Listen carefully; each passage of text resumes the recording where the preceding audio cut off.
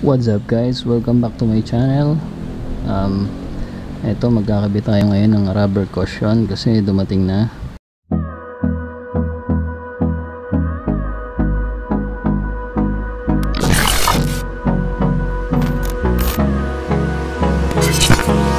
Hold me close till I get up.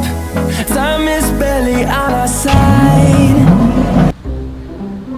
So ayan Nabili ko nga pala to sa Stingray Performance. Meron silang Lazada YouTube Tsaka Facebook. Yan. Nasa magkano ba to? 1.8 Tapos 45 pesos yung shipping Sa Lazada. So 1.845 Ayan. So ito yung size niya. Size Type C. Size uh, 27mm color red. Yung size niya pinasukat sa akin yung gap dun sa yung space gap dun sa uh, lowering spring ko habang naka hindi siya naka jack yan. So yun yung sukat niya. So subukan natin ikabit ngayon buksan ko muna. Pakita ko. Ayan. Ayan. May nakita pala akong ganito na mura sa ano sa Shopee, Lazada. Kaya lang yung pala pangit pala yung pagka-rubber nya siguro baka madaling masira. Ito maganda yung pagka-rubber nya hindi daw madaling masira to. Tsaka original yung Jinky. Jinky yung ah, tatak. Yung brand. So yan. Subukan kong ikabit. DIY muna. Madali lang naman siguro ikabit to. Yan. Kabit ko na muna ah yun nga pala yung sa previous vlog ko uh, nagpakabit akong lowering spring. TRE lowering spring. Ayan okay naman siya. Hindi naman matagtag. Ang ayaw ko lang sa kanya yung medyo maalog ng konti compare sa stock. Kaya lahat naman ng lowering uh, ganun eh medyo maalog. Lalo na pagka yung daan eh wavy. So para kang inuuga. Kaya bumili ako nito para hindi mabawasan yung alog niya. So ayun. Pero ano yung pag nilagay mo siya is, um, same height pa, same height din. Hindi magbabago compare dun sa mga sa ibang nabibili na mumurahin. Kasi yung mga mumurahin yata parang tumataas yata yung height nung ano nung shock mo. Tsaka yung isa may isa pang klase yung sabi yung dalawang rubber? Dalawang rubber na ilalagay mo sa magkabilang gilid. Eh parang hindi kasi maganda yun kasi hindi siya equal. Yung laro ng shock parang hindi magiging equal. Eh dito isang buo. Isang buo siya kaya mas okay. So yan subukan ko na ikabit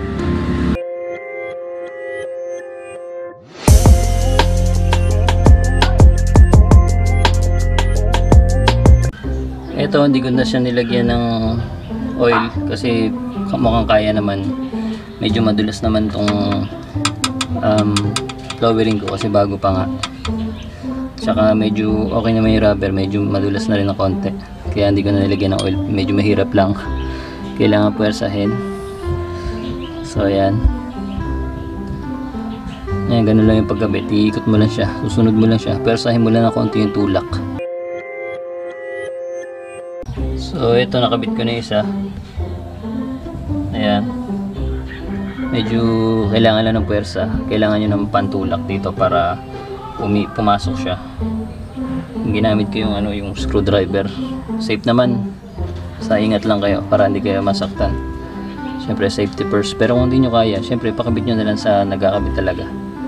Sa mekaniko. O kaya sa mga shell, nagkakabit yata sa ganun So yan. Okay naman, okay naman. Okay naman siguro yung kabit ko. Pero parang sobra siya eh, ano. 'Di ba? Ito parang sobra. Hindi ko alam kung sobra o ganyan talaga 'yan. Iyan ko muna, subukan ko muna habang sumat nakasakay para malaman. So, yung kabila naman. Nga pala, lagyan ko siya ng cable strap para hindi siya matanggal.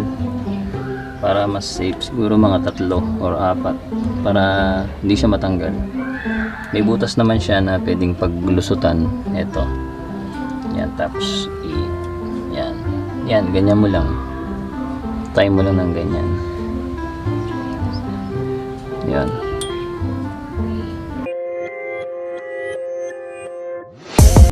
Ayan, nakabit na natin yung cable tie. Mga lima yung nilagay ko para matibay. Okay, kabit ko na yung gulong tapos yung kabila naman.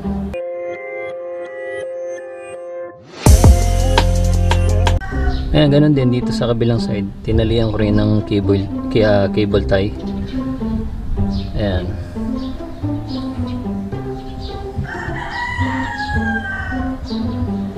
Parang mas nadalian niya ako rito, syempre, kasi alam ko na yung gagawin. Yan, pareho lang. Mamaya susubukan ko na kung ano difference niya. So, ayun, natry ko na siya. Um, kasi, pero malapit lang eh. Hindi ko pa na-try ng malayuan. Pero may dadaanan na akong medyo maalog. Ah, may dadaanan na akong wavy na daan. So, yung pakiramdam niya, yung ride niya, parang stuck. Parang stuck na yung likod ko. Yung rear na spring. Parang bumalik sa stuck yung ride niya. Yung comfort. Kasi nung walang spring, ah, nung walang cushion, rubber cushion, pagka nagpalit ka ng lowering, medyo maalog ng konti eh.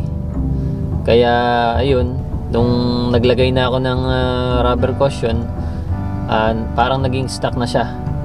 So, sulit naman kasi 1.8 yun eh. 1.845 kasama yung shipping sa Lazada. So, ayun, inisip ko kung lalagyan ko rin yung harap. Kaya lang, medyo parang okay na ako dito. Sa ngayon ah. Parang okay na ako. So, ewan, tingnan natin pag tagal. Ayun. Nga pala, may konting sobra pala dun sa ano, sa sa rubber. Kasi paikot siya eh. So, parang magkapatong ng konti. So, bala ko, ah, putulin ko, tapyasan ko ng konti para ganyan siya. Yung hindi siya magkapatong. Para mas malinis tignan. So yun, baka ha, yun, baka putulan ko lang pero yun, okay naman, okay naman yung sa review ko. Okay, napakaganda. So yun, sa susunod na video na lang ulit. Ah, please subscribe. Sana na nakatulong yung video to, yung vlog na to. At hanggang sa susunod na lang ulit, subscribe. Ito hindi ko na natiis, ginupitan ko na siya, ah, pinutulan ko na siya ng ng konti. Ito ganito. Ganito kalaki na putol. Para sa makto siya. Ito.